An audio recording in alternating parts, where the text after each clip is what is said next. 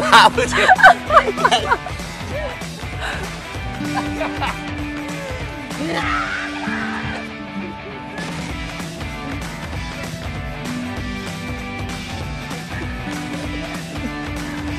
今天非常热闹，而且今天全场呢会有很多尖叫声。Yes，因为呢，今天是一个非常童趣的一天。对我们今天要挑战的呢是前所未有的一种人生境界。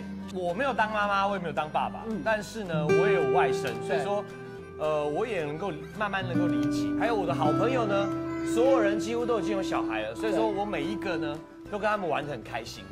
今天呢，我要来挑战的这一位呢，就是我的好兄弟，他叫窦志孔先生，他呢已经有两个孩子孩，而且这两个孩子呢都是小皮蛋，就是男生。到底他能不能呃，应该说我能不能挑挑